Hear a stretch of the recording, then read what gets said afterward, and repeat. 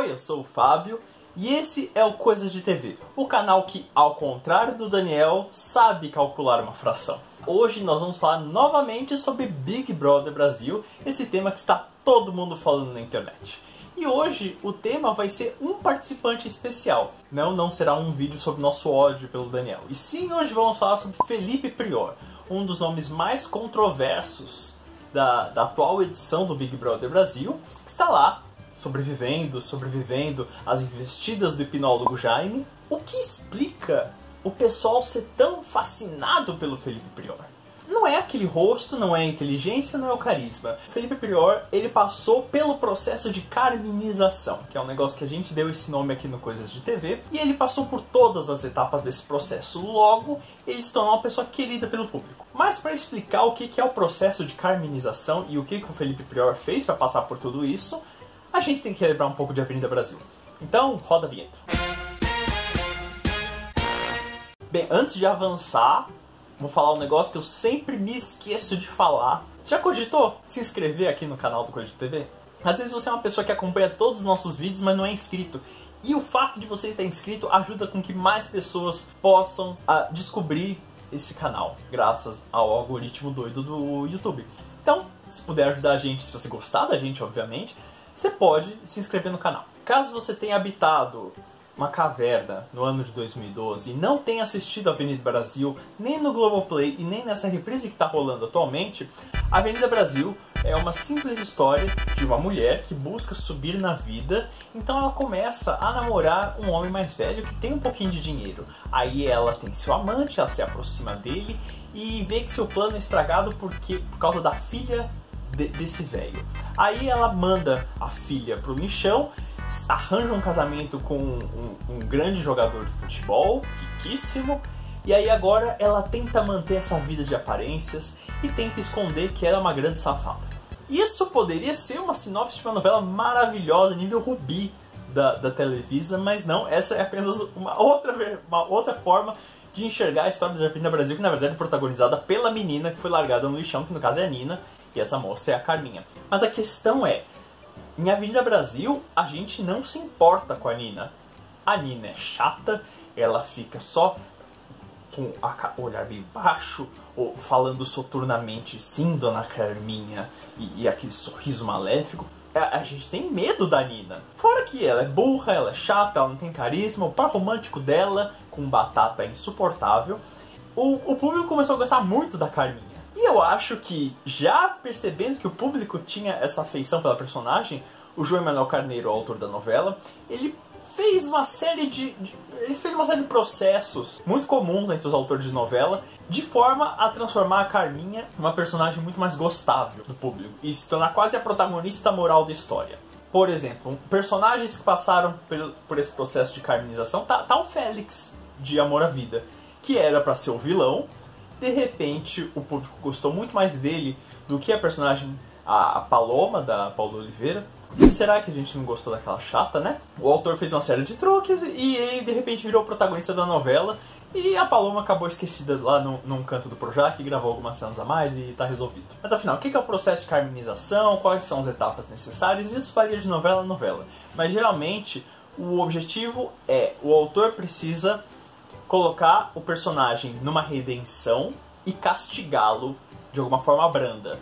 Isso é o suficiente para o público começar a torcer para ele como se fosse um protagonista de novela. Isso funciona inclusive com protagonistas de novela. Não vamos esquecer que em Dono do Mundo um público não gostava da personagem da Malumada, porque achava ela burra, algo bem comum que a gente vê nas novelas.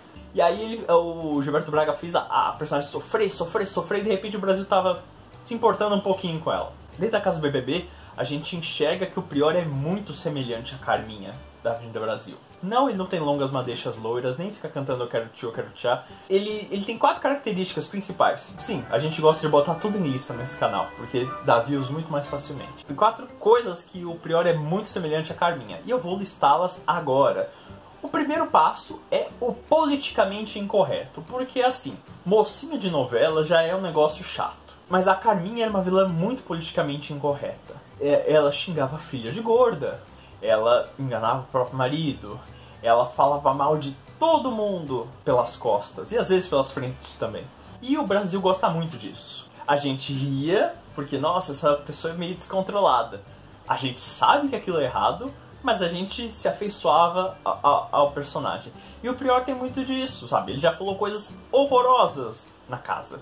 Tem esse, esse um pouco desse lado do politicamente incorreto. Ele zoou a galera do K-pop, ele fez gestos xenofóbicos. E aí a gente já pula para a segunda semelhança que o Prior tem com a Carminha, que é a questão do humor. Geralmente os protagonistas de novela, como eu já falei, são chatos. E por que, que eles são chatos? Porque eles são todos muito sérios, uns sisudos. Não é uma personagem que a gente gosta de torcer, a gente gosta da Carminha, que ela tem aqueles gritos, aqueles descontroles. E o Prior traz esse lado do humor. Porque o Prior é uma pessoa muito equivocada. Ele, ele não consegue formular seus pensamentos de uma forma a, a fazer com que eles tenham sentido. Ele tem umas certezas erradas muito grandes e ele aposta nisso até o fim.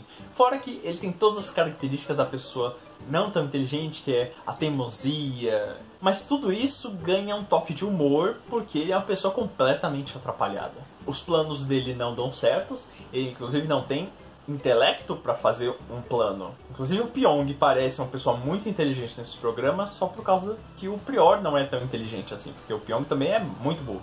Mas aí chegamos no, no, no terceiro ponto de semelhança entre a Carminha e o Prior, que é a questão da comparação.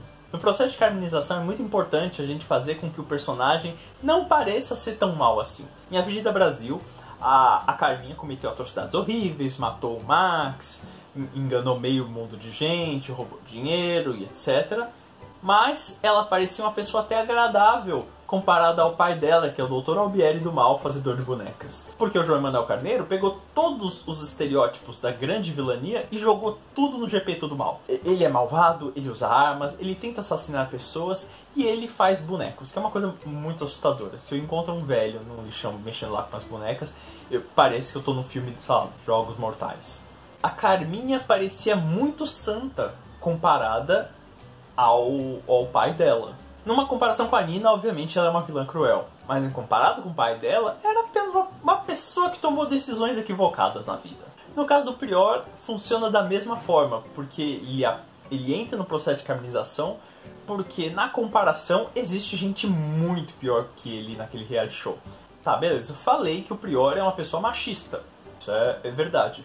Porém, comparado a Patrix, comparado a Hudson, a Lucas, ele é santíssimo, ele é desconstruidíssimo, é uma pessoa super agradável que você quer ter no seu almoço de domingo. Muitas pessoas falam, ah, ele pelo menos se esforça para tentar aprender. Eu acho que ele não tá tentando aprender nada, na verdade. Eu, eu, eu acho que ele fala que está ouvindo, mas a coisa entra por aqui e sai por aqui. Tipo, aula de frações pro Daniel no ensino fundamental. E em questão até de atitudes, as atitudes machistas do Prior, ou a forma como ele cresce muito para cima das mulheres ou do Vitor Hugo na hora de uma discussão, como a gente até já falou no nosso odiômetro, é muito esquecível quando a gente lembra que tivemos duas pessoas que tocaram de forma indevida as mulheres da casa. Qualquer coisa pode ter suas qualidades exaltadas, dependendo da comparação. A Dona do Pedaço pode ser uma novela fantástica se você comparar com o Sétimo Guardião. Inclusive, muita gente comentava aqui nos comentários, dizia, ah, vocês estão falando mal da Dona do Pedaço, mas é muito melhor que o Sétimo Guardião. Até aí, a, o circuito interno do meu condomínio é melhor que o Sétimo Guardião. E por fim, vamos falar que o ponto final, fundamental para a carminização de um, de um personagem, para que o público passe a curtir ele, é o processo de sofrimento. Que isso tem que acontecer. A Carminha sofreu muito, ela, ela, sofreu na mão do pai, foi parar num lixão para só depois ser perdoada pela Nina. O Prior passou por sofrimento. Ele viu todos seus amigos serem eliminados, ele foi ficando sozinho, ele foi confinado no, quarto branco, ele é votado toda semana. E mesmo assim ele continua firme e forte lutando para conseguir ficar na casa. O Brasil gosta muito de acompanhar uma pessoa que luta, sobretudo uma pessoa que luta contra algo que parece injusto um, um, time formado por, pelo exército das fadas sensatas, que sensatas não tem nada, se unindo contra uma única pessoa, obviamente faz com que o público sinta um pouco de compaixão pela pessoa que está sofrendo o afastamento dos outros. Considerando isso, podemos dizer que o quê? Que o Felipe Prior passou por todas as etapas do processo de carminização. O que justifica, por exemplo, ele ser um dos mais queridos por parte do público. Hoje em dia tem uma torcida grande nas redes sociais, as pessoas compartilham seus vídeos e até passam um pano para algumas decisões meio meio controversas dele, porque ele, em algumas outras formas, ele age de uma forma muito correta. Como, por exemplo, no ódio pelo Daniel, porque o ódio é capaz de unir as pessoas. Mas existe uma coisa muito importante que difere a Carminha e o Prior, que é o fato de a Carminha não existe. A Carminha é uma personagem de ficção criada pelo João Emanuel Carneiro, interpretado pela Adriana Esteves, que ao final do dia ou ao final da gravação tirava sua roupa, despenteava o cabelo e ia tomar uma cerveja com a Débora Falabella.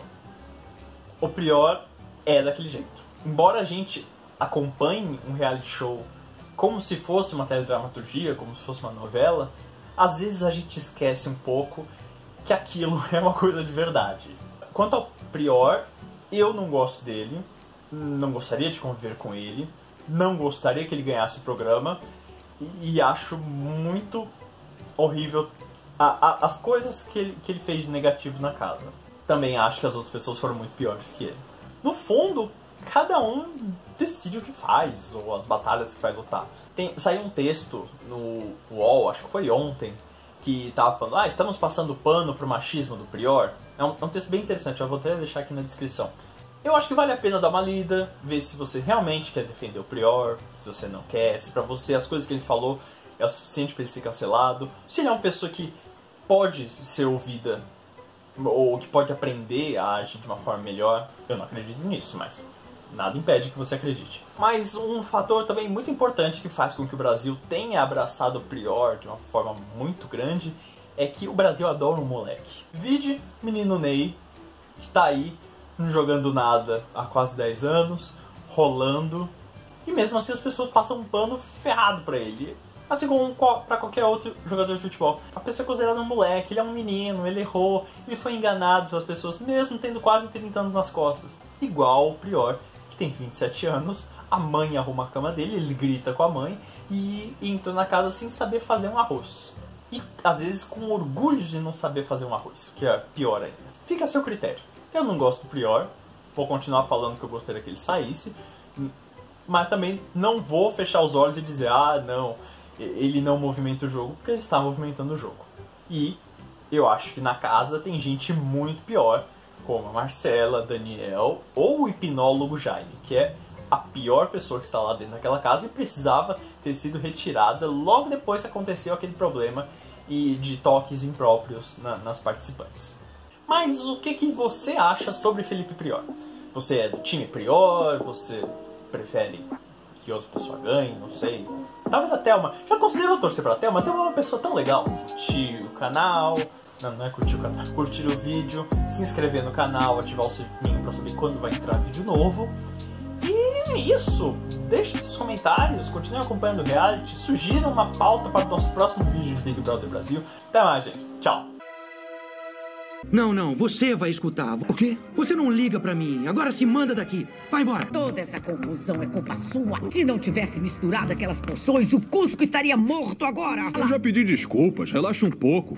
É o seu aniversário.